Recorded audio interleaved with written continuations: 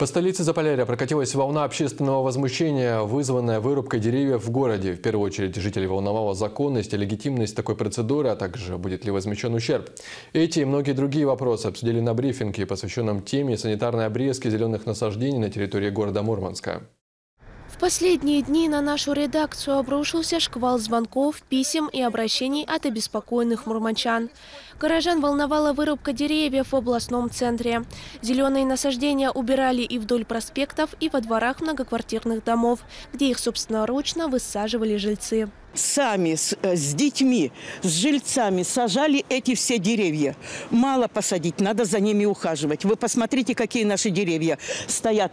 Подстриженные, санитарная обработочка сделана, несмотря на то, что нам администрация запретила делать администр... э, санитарную обработку. Заикаюсь, очень беспокоюсь. В 8 утра заработали уже пилы и пилят лес. Дать свой комментарий по этому поводу решили научные сотрудники и представитель администрации города Мурманска.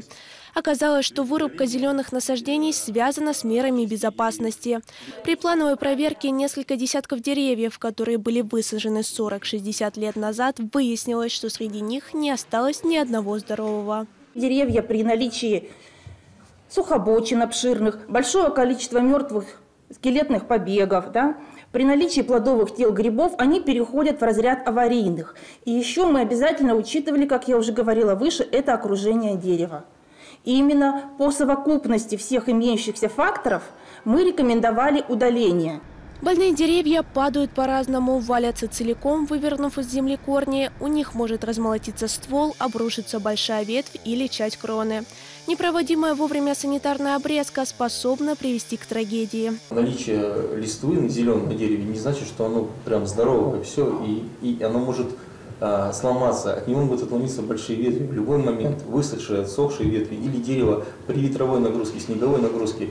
И вот падение дерева, как мы знаем, чревато тем, что оно может принести, нанести ущерб здоровью, э, не дай бог, жизни граждан, а также их имуществу, упасть на машину припаркованную. Но администрация города уверяет, волноваться не стоит. На месте старых в следующем году появятся новые зеленые насаждения – рябина, клен и сирень.